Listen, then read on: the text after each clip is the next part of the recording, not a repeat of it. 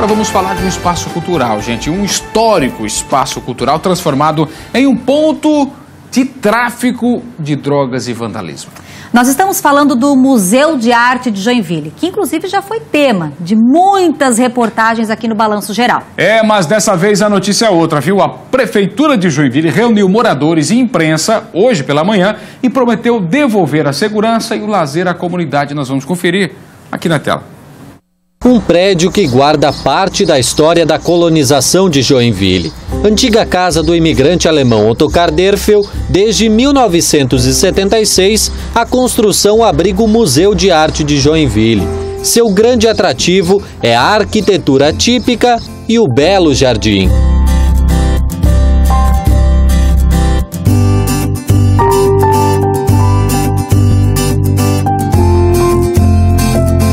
Até algum tempo, o MAG era muito frequentado por famílias. Era comum apresentações culturais, shows e bandas.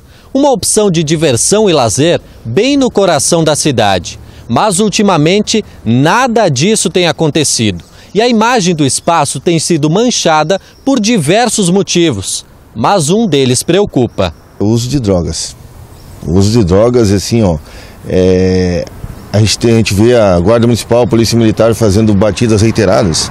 A questão é que eles saem e, e retorna tudo de novo.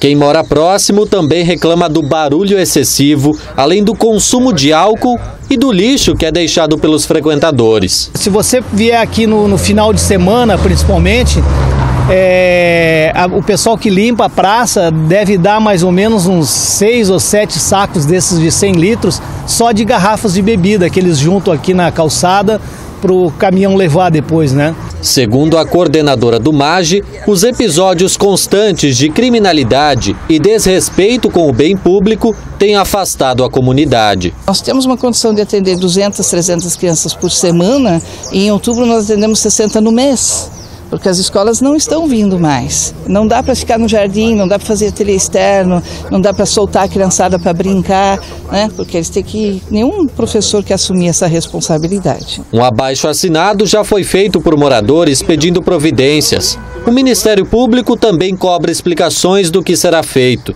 O município aumentou a fiscalização com agentes da Guarda Municipal, mas viu que era preciso medidas mais drásticas em uma coletiva, apresentou um relatório. O documento traz uma série de ocorrências policiais, incluindo prisões por tráfico, ocorridas no local nos últimos meses. Agora, o executivo deve pôr algumas ações em prática. Fortalecer a iluminação, a gente precisa oferecer iluminação aqui para dar mais aspecto de segurança para os usuários que frequentam o parque de forma, forma sadia.